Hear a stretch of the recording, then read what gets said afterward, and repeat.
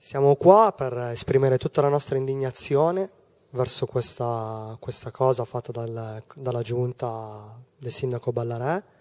che sta facendo morire un servizio pubblico e sta facendo sì che l'azienda pezzo per pezzo continui a cadere. Eh, a partire dalla navetta verde e finendo da, questo, da, questa ultima cosa qui, che è il servizio festivo, che a nostro avviso è molto, una cosa molto grave, sia da parte degli autisti, va contro gli autisti e va contro tutta l'utenza e tutti i cittadini che abitano a Novara e utilizzano questo trasporto in giornate dove eh, non possono utilizzare altri mezzi. Certo, noi vorremmo preservare il servizio, vorremmo che loro investissero su questa azienda e su questo servizio perché Novara è una città importante, è una provincia importante dove ha bisogno di questo servizio perché se loro venissero a vedere effettivamente sul campo come il servizio va, si potrebbero rendere conto che questo servizio serve e non è un servizio inutile che può essere tagliato così. Ci sono pochi fondi, questo è vero, però se l'unica soluzione è tagliare non si arriva da nessuna parte. Prima si deve investire, provare a vedere altre vie e poi dopo si può iniziare a ragionare in termini di taglio. Però se il taglio deve essere l'unica soluzione,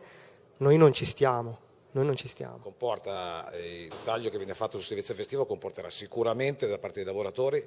una grossa perdita economica, sicuramente, e una grossa perdita di meno giornate lavorative, nel senso che eh, ovviamente lavorando, riposando sulla domenica si hanno meno giornate lavorative, ma il problema grosso non è quello, il problema grosso è che la città come Novara ha bisogno di molto e di molto servizio per eventi particolari, mi riferisco alle domeniche ecologiche, mi riferisco a aumenti particolari di svago che è stato creato sulla città. E se i lavoratori eh, devono riposare di domenica e soprattutto gli autisti che oggi non possono non riposare durante la settimana, vuol dire che la domenica quei servizi non si possono fare. Quindi avremo un problema grosso di mobilità, un problema grosso di sicurezza, un problema grosso di soldi per i lavoratori e di disagio per, la, per tutti i cittadini.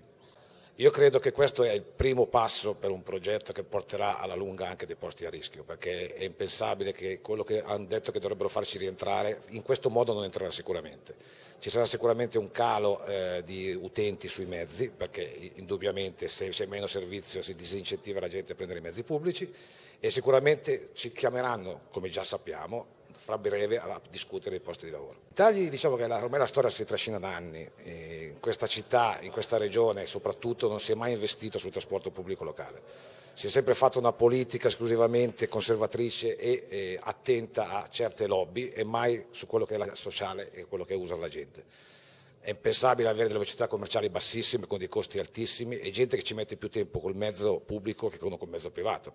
Addirittura il centro storico è aperto ai privati e chiuso al pubblico, cioè c'è una politica completamente inversa.